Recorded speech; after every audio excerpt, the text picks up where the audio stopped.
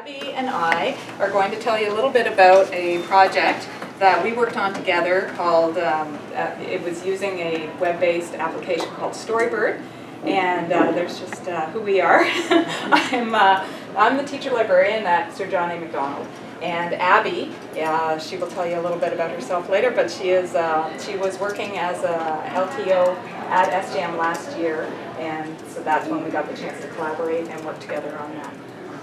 And she is now at KCI. So there's a couple of things we wanted to share with you today.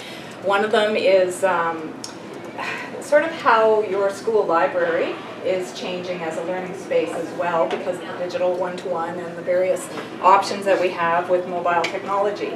Um, but uh, we wanted to spotlight one of those particular things that the library could do to support things in the classroom as well, and that's where Abby's project with Storybird is going to um, So the library is of course a learning space as well, and because of um, the changes that uh, mobile technology have allowed us. A, a, a, number of different things have changed, and I'll, I'll just uh, share with you our experiences at SJAM in terms of how uh, we see things changing and what we're doing differently now as a result. Um, one of the things is grade 9 library orientation. I'm sure you're familiar with, okay, it's September, we send all the kids down to the library and they learn how to check out books and they learn how to do all that other stuff. Um, our orientation certainly changed a great deal because of the digital project. And by the way, SJAM was a, a pilot school, right? So we, we're in our second year now of uh, all the kids having their own Chromebooks. Uh, grade 9s and 10s have them now. So uh, last year, with our first group, um, we, we had the students um, uh, come to the library with their Chromebooks. I didn't have to book a lab anymore. I could combine classes so that uh, uh, we could get through it a lot uh, quicker and kids had the information they needed to know like about how to change a password, how to access the databases, all that sort of stuff. They, they had that information that much sooner. I was able to get through all the grade 9 classes in about eight days. So that was helpful. That was um, much quicker than the three weeks that we used to go through when I had to book a lab, our, my own lab and everything and take care of it that way. Um, so it certainly helped with that.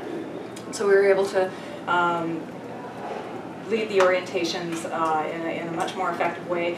The, the kids had their Chromebooks there so that we could talk, we had the whole clamshell, you know, let's not look at them right now. We're going to talk, tell you a little bit about what the space is and what you can do, but now let's open it up and let's explore the databases. Let's see what, what uh, what's available for you there.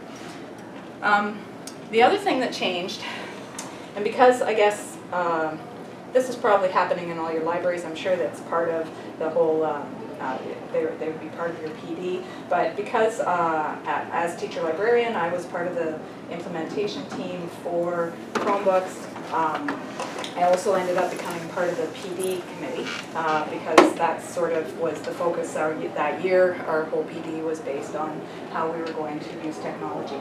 And so um, our PD approach kind of changed a lot of things because we didn't just focus on how the grade 9 teachers were going to use this technology. We, we, we looked at it as a whole school approach and we wanted to make sure that all the teachers on staff were sort of getting on board and, uh, accepting that this technology was there. Um, and our, we had been using the Chromebooks and netbooks for years through Futures Forum and all the other uh, digital um, programs, the options that we, we had become involved in. So, so our staff was kind of ready and familiar to, to jump on board with a lot of that. So our PD uh, focused on how uh, all classes could begin to integrate um, more of the technology along the way. Um, so the library became a place certainly for PD development, um, PD uh, activity, and um, this was last October, um, PD Day, and, um, Harry back there. like we've got uh, the people are, are, getting involved and, and interacting, and, and it became a great uh, chance for for us to use that space for that as well for PD. Um,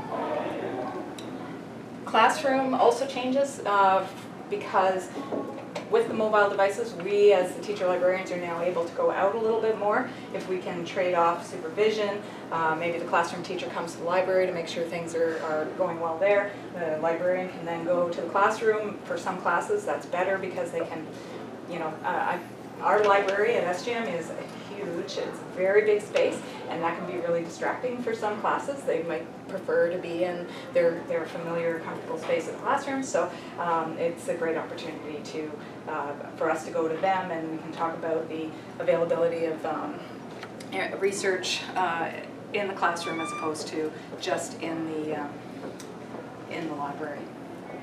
Um, I just want to highlight one thing in particular, and I and the reason I, I brought this in as, as how, again, the, the library is changing because of the digital one-to-one. Um, if you are doing research projects with your kids and you are using the databases at all, um, not sure how uh, familiar everybody is with the fact that the Gale databases now are integrated with Google Apps. So um, kids can sign in with their Google Apps account they can download directly any of the articles that they find in Gale to their Google Drive. They can make notes on those articles, they can save those notes. It, it all goes directly to their drive. So, and same with the citation information. Really, uh, it's all there, and that's like a big, like, I knew I had to share this when I did it in a class. I was talking to a grade 11 uh, class um, about it, and there were kids in the class that were like, this is awesome! And I thought, okay, kids don't get excited about research like this. But when they saw how easy it was and how it was ready-made for them, and it, it, was so slick that it, I thought, well, this is a time saver, it's huge, and hopefully it will help um, kids in, accelerate their research and, and focus it so much more. So um, talk to your teacher librarians if you're interested in getting more information about that. They will help you find this. It's the Gale database right now. But you can also, in it, even the other databases, you can email articles to your, to your Google Drive and then just open it in the Drive. And, and it's an extra step, but Gale's already integrated it, which is really nice. Um, so yeah, so there's just a little screenshot of all those things that you can do. Um, so those are a number of ways that the um, the uh, library is changing to support digital activity in the classrooms. Um, collaboration with the teachers is a huge thing. It's always been big for us as teacher librarians. We want to be collaborating with um, with a classroom teacher, make sure that we are uh, helping out and supporting in whatever way that we can. Um, now, a lot of the ways that we're doing it is exploring new digital apps, um, various things. Uh, I'm sure a lot of those icons are familiar to you. Um, and we may not know them all, but we've got a little bit of extra time to look for those things for you, right? We want to try and learn these things and support them. I started, uh, because I don't have a class, um, library or uh, Google Classroom was kind of uh, confusing me because the teachers would come to me and say, how do I do this in Google Classroom? And I'm like, I don't know, I don't have a class. So my library club is now a Google Classroom and I'm helping out with um, Key Club. And we've made Key Club a Google Classroom now. So yeah, so we, um, so finding other you know options for that so that I can uh, support the teachers and help them out with uh, with questions about that and, and, different things. So a couple years ago, um, I was at an Ontario Library Association conference in Toronto, and I went to a workshop on Storybird, and it blew me away, and I just thought it was so cool, and this is some neat stuff that can happen. So um, that is where Abby comes in. Storybird. Yeah. Thank you. Okay, so um, before I touch on Storybird, I need to give you a little bit of background information. Um, sort of on myself, I'm in my, I've just passed my year and a half of OT teaching. Um, I've been lucky that I had an LTO um, at Eastwood, an LTO with SJAM, and currently I'm with KCI. Um, and the one I'm going to talk about is my time while I was with SJAM. Um, and one of the classes I had was a grade 9 fast forward class. Coming in uh, as a new OT, um, I probably had never really put my hands on a Chromebook before. And so that was a big uh, learning curve for me with SJAM because, again, they were the pilot program for the one-to-one. -one. So I knew I really needed um, extra support with the Chromebooks, with what was available to me, uh, and how I could really help, especially that grade 9 fast forward class, be successful in the classroom. Um, I recognized pretty early with this fast forward class that I wanted to do something beyond the classroom with them. I wanted to give them an opportunity to take their skills of particularly reading and writing um, and apply that in a practical situation. So if you're not familiar with SJAM, there is an elementary school right next door. Um, and I actually contacted the principal at the elementary school and I met the two kindergarten teachers that are there and we set up a grade 9 fast forward reading buddies program. Um, it started out as more of a mentorship program, uh, and it evolved throughout the entire unit that I ran it. Um, all of the information that I did, uh, the students signed contracts for me, the student expectations, they did daily logbooks every time we went. All of that is in that book here. Um, I really want to focus again on the collaboration I had with Jenny and how Storybird uh, became a part of that and helped the program then evolve. Um, Expectation-wise, I thought it was going to be just have all my kids go next door. It was going to be great. Um, work with our little kindies, read, uh, build confidence with their reading and writing skills. They not only did reading together, but usually we split the time of 20 minutes of doing some sort of uh, vocab or alphabetical activity, and then they read um, with their buddies. And what's interesting actually is that some of my fast forwards were doing so well, this is Connor that's here, um, that they actually had multiple buddies. So not just one-to-one, -one, um, but that student becoming the teacher in the classroom I found was really powerful. And some of them were actually ready to take on additional students. Um, the reality of the program is that after about two weeks of observation, of watching them and seeing them build that confidence and grow, uh, I knew I wasn't challenging them enough. And I probably wasn't using the Chromebooks to the best of their ability. Um, can we go to the next slide? Mm -hmm. Yeah. So again, I just have, uh, I took lots of photos. I wanted to document their success. Um, we had a bit of a party on this day. We did outdoor activities when we could. And again, just lots of uh, student mentorship happening there. So in identifying that I needed to challenge them more, I decided that I wanted to introduce the narrative to my students. I wanted to give them a voice, and I wanted them to create uh, an authentic product using some sort of digital learning uh, that then they would have in their hands and be able to share with their kindergarten buddies. Um, and then that's also moving it beyond my teacher ass assessment. It's not something that I just kept. Uh, the versions that I have here are ones that I was able to reprint, and I'll talk about that later. Um, and I also wanted to bring the Chromebooks in. So I knew I needed a digital app that allowed uh, our students to physically carry the Chromebooks next door with us and be sharing uh, the collaboration and the use of the Chromebooks outside of my classroom with their kindergarten buddies.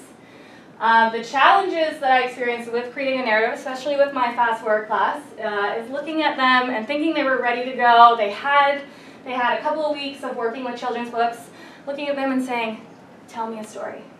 And uh, this is the face. The faces, these are the faces that I got. Blank stares, crickets, um, and a lot of them were visual learners. So I needed a program that was going to provide them with some sort of visual scaffolding uh, to help inspire that creativity and inspire the narrative for them. Okay. Uh, and I didn't know where to go.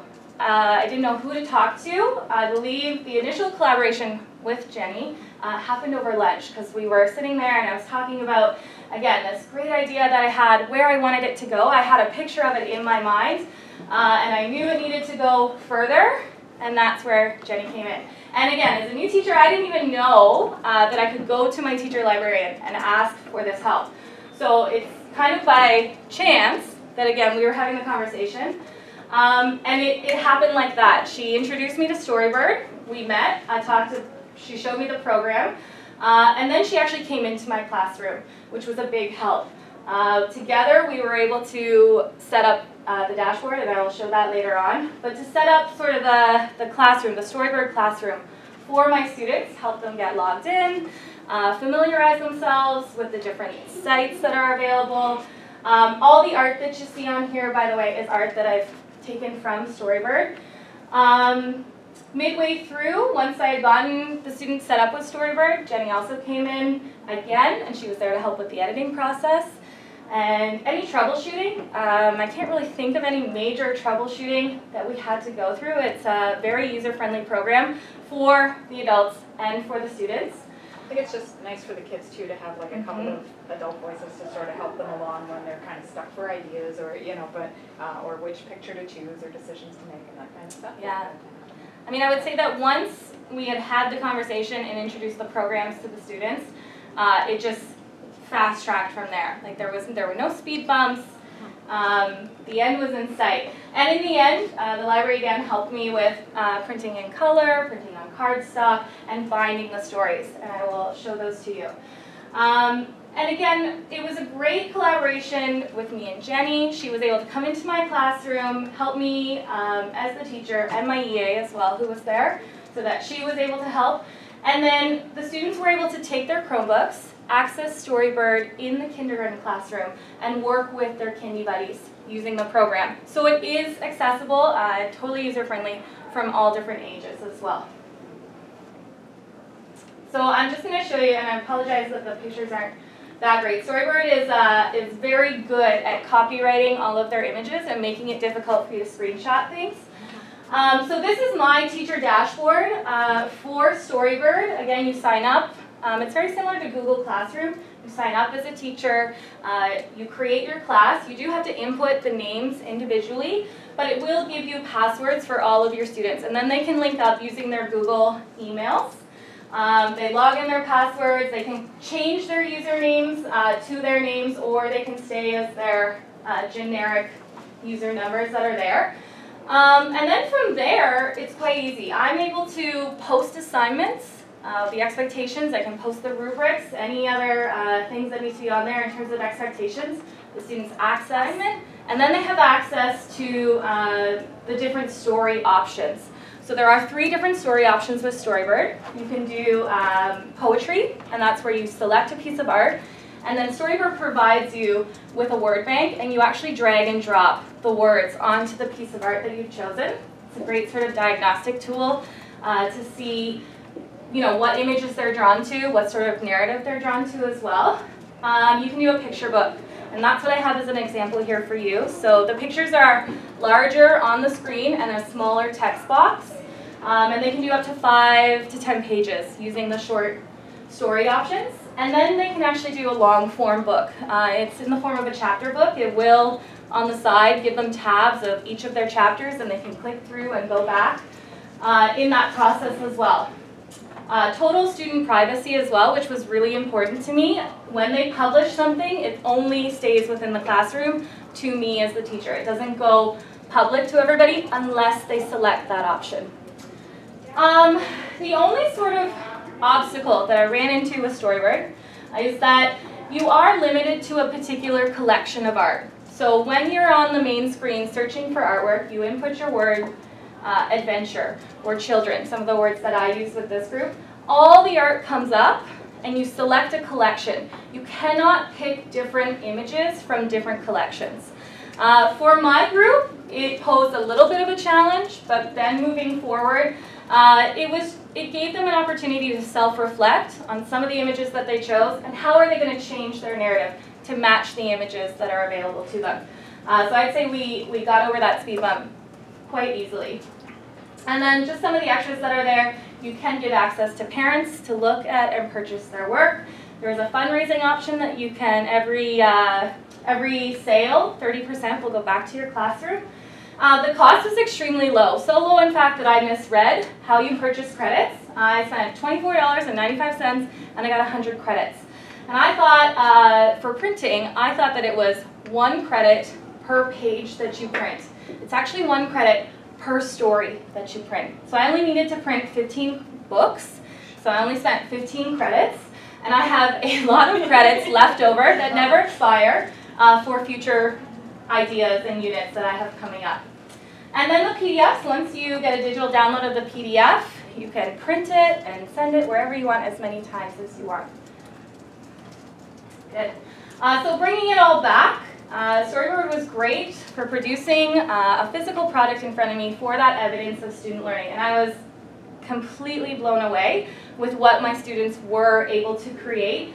Uh, the narratives that came out were for an actual audience that they had, and I found that very powerful. Um, and some of my stories are here if you have a chance to look through them. Um, and the best day was having them all printed, spending hours in the library printing them and binding them, um, taking them to my students, because I didn't tell them that I was printing them for them ahead of time, and uh, just the glow on their face of seeing their work here looking professionally done in their hands uh, was great. We took them back to the kindergarten class, shared them with our buddies, uh, and they actually donated their stories to the classroom. So that was a great experience. I'm not sure if Abby mentioned, but um, like the stories that the, her students wrote were, like the characters in their stories were their Yes. reading buddies, right? So the stories were personalized for these little kindy guys. And uh, yeah, so that was, that was kind of a a neat touch that uh, she added in. And, and again, I think it helped the students focus their ideas and they had, they Mhm. had uh, information. Good. Do you want to show? Yeah, so um, I have a couple of stories here that some of my students have done. If you have a chance to take a look at them and you want to look through. Also, just to get an idea of the artwork um, that is available for Storybird. These, again, are the picture books that were done.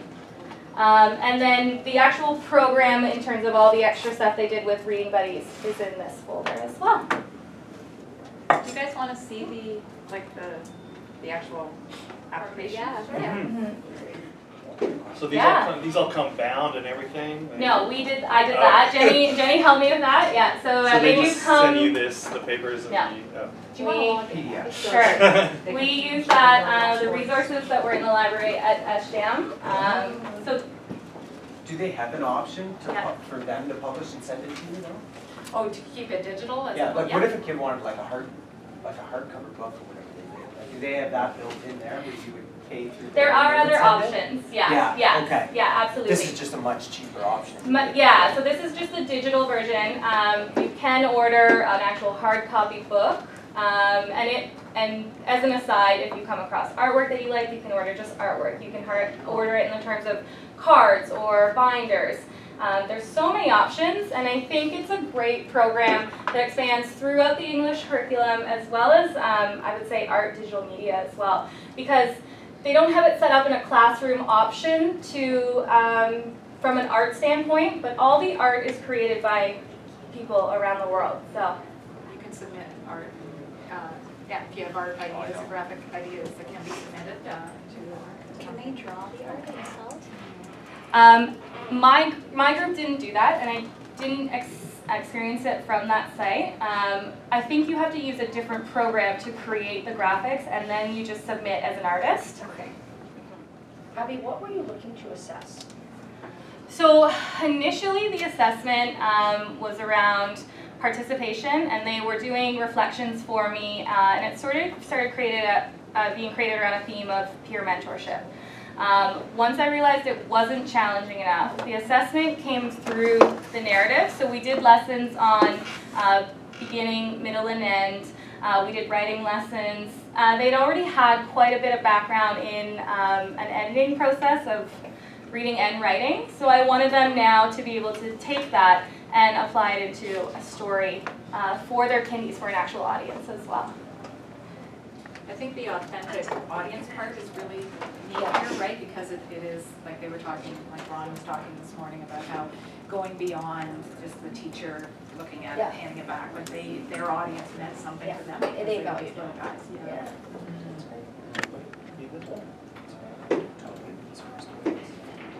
Do you have any students that are, have English as a second language? Uh, I did not have any, no, not with this group. Um, I did have two learners that were fresh out of life skills. Okay. And I had two learners um, that were at this level now are into the applied level. So I did have a pretty good spectrum of uh, differentiated learners in the classroom. Um, I can't seem to log in. Oh, dear.